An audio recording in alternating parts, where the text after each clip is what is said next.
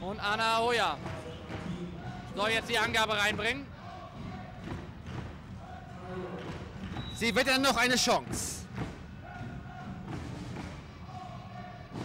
Ja, die haben sie auch, aber dann müssen sie jetzt punkten, weil sonst haben wir Matchball SSC. Gut geholt. Aber schlechtes Zuspiel. Und das war ein klasse Block von Ines Bartens.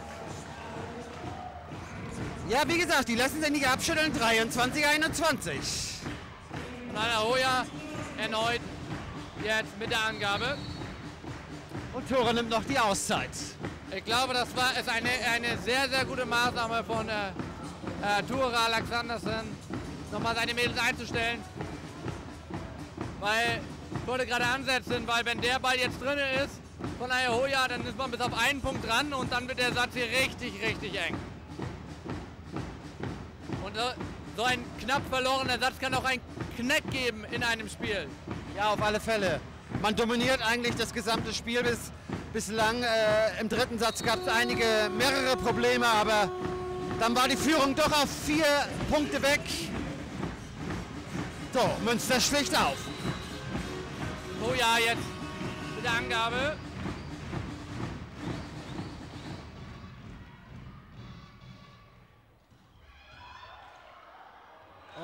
Ist soweit.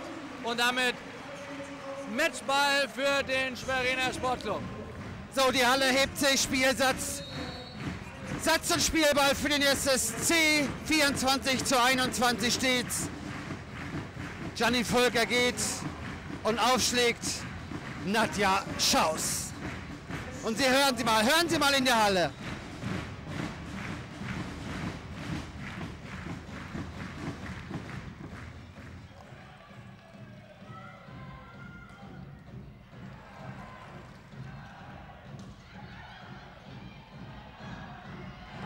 Und das war mit Übersicht. Anja Brandt verwandelt zum 3 zu 0 Sieg über den USC Münster. Ja, das war im dritten Satz dann auch ein sehr, sehr tolles Volleyballspiel in den ersten beiden Sätzen.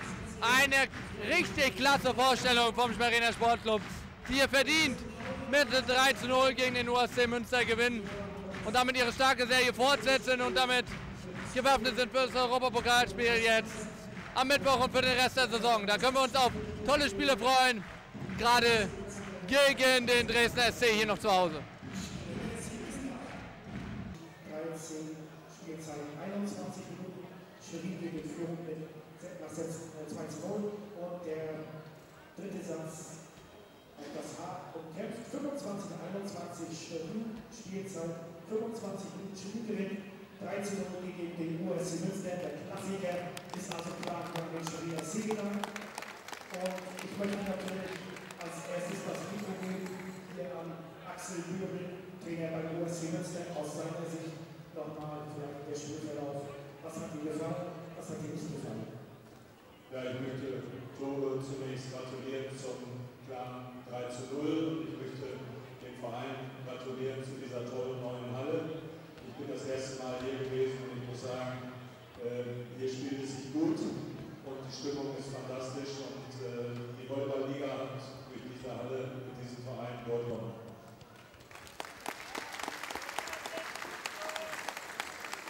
Ich denke, Schwerin hat heute sehr, sehr stark gespielt, fast fehlerfrei gespielt, trotzdem recht ärgerlich, weil äh, wir haben außer dem dritten Satz zwei Sätze quasi nicht stattgefunden und äh, haben nicht unser Niveau erreicht und das äh, bin ich nicht bereit zu akzeptieren.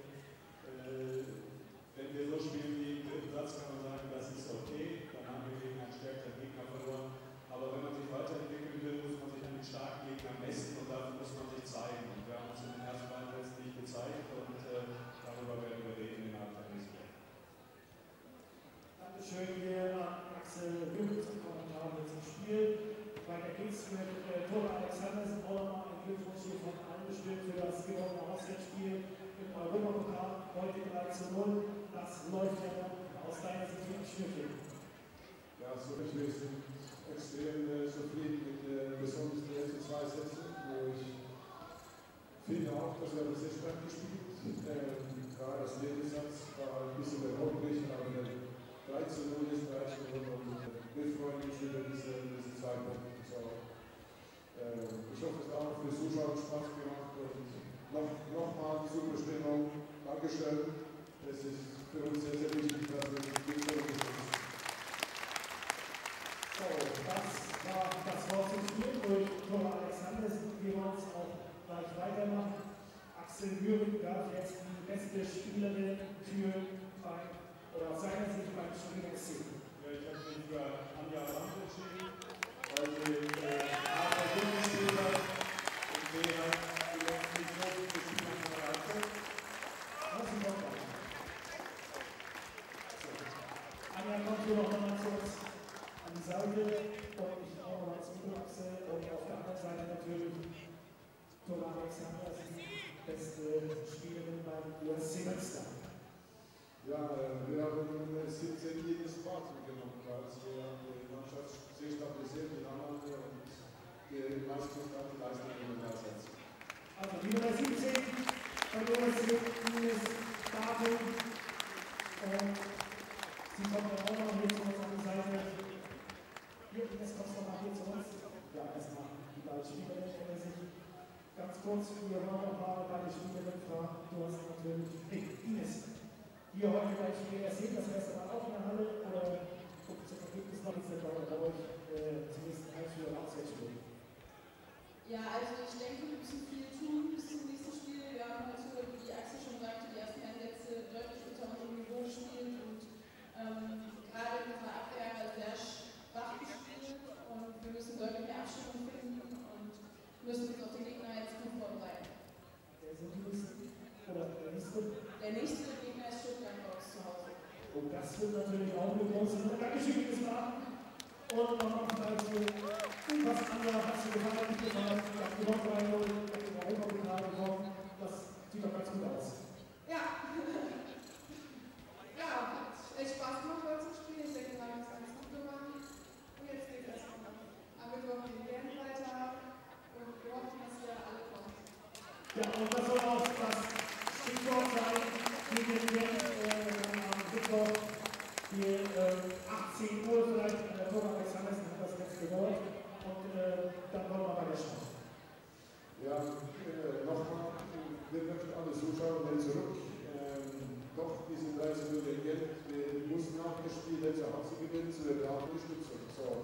Bitte, wir sein Mittwoch 18 Uhr. Wir bedanken uns herzlich, dass Sie hier waren bei der Sponsoren Förderung an den Publikum, die mitreißenden Fans von USC, Kinder, der Fanclub und Axel, wir wünschen euch eine angenehme Heimfahrt und weiter geht's in der Bundesliga. Bis zum nächsten Mal. Dankeschön. Ja, wir machen ein bisschen schnell. Christine Kaspersky, du hast äh, viele zu begrüßen hier. Du bist noch äh, sehr bekannt in Schwerin. Wie ist es wieder in Schwerin zu spielen? Ah, schon schön. Also habe mich sehr gefreut, viele bekannte Gesichter wieder zu sehen und doch ist mal wieder schön, hier zu spielen. Ja, äh, trotzdem, das Spiel ist euch nicht ganz so gelungen. Äh, Gerade die ersten beiden Sätze. Euer Trainer sagt, ihr habt nicht stattgefunden. Siehst du das genauso? Ja, in den ersten zwei Sätzen waren wir, glaube ich, gar nicht da. Also das hat man auch gesehen bei äh, neun Punkten und davon noch Ausschlagfehler von Schwerin. Äh, da kam gar nichts von uns. Ja, und dann im dritten Satz hatten wir ein bisschen den Eindruck, das Spiel geht ganz viel über dich und wenn es bei dir funktioniert, funktioniert auch bei Münster. Äh, lief, wie lief die Saison so für dich? Oh, bisher bin ich gar nicht so zufrieden gewesen mit meiner Leistung. Heute hat mal wieder ein bisschen was aufgeblitzt, wo ich mich darüber gefreut habe, das Positive mit rausnehme. Aber bisher war ich noch nicht so zufrieden mit meiner Leistung. Ja, äh, ansonsten, wie hast du dich eingelebt in Münster? Oh, eingelebt schon sehr gut. Also ich bin ja jetzt schon sehr lange da, seit August. Und äh, doch habe mich sehr gut eingelebt. Ja, dann wollen wir dich nicht aufhalten. Du bist sehr viel gefragt, Christine. Vielen Dank äh, ähm, ja, für das Interview. Ja, 3-0 gewinnt der äh, Schweriner SC gegen USC Münster. Ich habe nun beide beste Spielerinnen äh, bei mir auf der Seite vom USC Münster, Ines Barton, auf Schweriner Seite Anja Brand. Und ich beginne mal mit den Gästen. Wir hatten so den Eindruck, man kann das Spiel äh, an dir ablesen. Äh, mit zunehmender Dauer stärker geworden. Der erste, die erste Angabe hatten wir Angst, dass sie nicht übers Netz kommt und später schlägst du Schwerin die Bälle um die Ohren. Wie ist das zu erklären? Ja, ich habe einfach versucht, ins Spiel reinzukommen und ähm, versucht, meine Mannschaft mitzuziehen, um halt dem Gegner Gegenleistung zu zeigen und ähm, musste dadurch halt dann auch öfters mal ran im Angriff. Ja, Anja, bei euch war es ein bisschen andersrum. Äh, zum Teil gerade im zweiten Durchgang äh, Weltklasse-Abwehrleistung aus unserer Sicht. Äh, Im dritten Satz ein bisschen abgefallen. Hat die Konzentration nachgelassen? Ist es die Kraft oder passiert das einfach? Ich denke, das passiert einfach, dass es mal ganz kurz nachlässt. Und wir haben uns ja auch sofort wieder gefangen, haben unsere alle Elemente gut weitergemacht. Und letztendlich hat es gut geklappt. Ja, ihr habt jetzt äh, ein straffes äh, Programm. Ihr wart jetzt gerade in äh, Belgien, ihr habt in Wiesbaden das Spiel gewonnen, hier gegen äh, Wilsbiburg. Jetzt hier gegen Münster relativ klar. Nächsten Mittwoch wieder gegen die Belgier. hartes Programm. Ja. Schlaft das? Ja, also das schafft schon ein bisschen. Aber ich denke, wir sind im Moment gut drauf. Wir haben viel Kraft und wir machen das ganz gut. Ja, der Trainer hat äh, gesagt, ab Dresden seid ihr auf äh, eurem Leistungsniveau. Äh, er hat ziemlich gute Voraussagungskräfte, oder? Ja, ich denke, wir haben einfach weniger über schlechte Sachen nachgedacht und deswegen hat das jetzt auch so gut geklappt. Wir haben unsere Stärken wiedergefunden und jetzt geht's weiter. Ja, du kannst das aus der Saison auch sagen. Du weißt, wie das ist, auf der Platte zu stehen, heute ein gutes Spiel zu machen. Du weißt, wie das ist, lange Zeit draußen zu stehen. Äh, wie guckt sich so ein Spiel von da außen an? Ich denke, also es ist auch sehr, sehr spannend draußen ist. Man kann selber nicht eingreifen, aber man weiß, welche Stärken die anderen Spieler haben und wo die liegen und dass sie das dann letztendlich doch machen, auch wenn man draußen steht. Ja, auf äh, deiner Seite, wir haben immer wieder beobachtet, wenn Schwerin angreift, äh, du wolltest sie, glaube ich, äh, verunsichern, wie, äh, dieses äh, Tippeln, was du machst. Wo hast du dir das angewöhnt? Das ist, kein, ist nicht um den Gegner zu verunsichern, sondern ist einfach meine Vorbereitung auf die Annahme, dass ich meine Beine schnell genug bewege, um an den Ball zu kommen. Ja, klare Ansage. Für den USC ähm, äh, Münster, was habt ihr euch vorgenommen? Ähm, der USC Münster, eigentlich bekannt noch aus der Spitze der Bundesliga, sieht nicht ganz so aus. Woran liegt das? Ich denke, wir haben uns als Mannschaft einfach noch nicht genug zusammengefunden und ich denke, dass dieses Jahr ein gutes Mittelfeld für uns okay wäre. Mhm. Wir kennen auf eurer Seite noch äh, Kaspersky, äh, sehr gut aus der letzten Saison hier aus Schwerin. Äh, was hast du äh, für einen Eindruck von ihr? Ich denke, dass Chrissy ähm, es heute sehr, sehr gut gemacht hat. Ähm, es gibt Kleinigkeiten, die sie noch ändern kann und ähm, sie ist auf einem guten Weg. Wie geht ihr jetzt nach, so, äh, nach dem 0 äh, zu 3 gegen Dresden, nach dem 0 zu 3 hier in das schwere Spiel gegen Stuttgart? Ja, wir müssen uns deutlich besser vorbereiten und ähm, uns in der Abwehr, gerade im Block, verbessern, um auch gegen Stuttgart dann mithalten zu können. So, jetzt habt ihr beide, an die Frage an euch beide, ihr habt beide jetzt die Auszeichnung äh, zur besten Spielerin bekommen. Wir können das vielleicht mal äh, kurz zeigen, so eine schicke Medaille. Ähm, ich, ich kann mal ein bisschen äh, näher, damit man das mal sehen kann. Ähm, was, was, oh, entschuldige. Oh, Gottes Willen. Oh, entschuldige viermal. Äh, was bedeutet so eine Auszeichnung für eine Spielerin?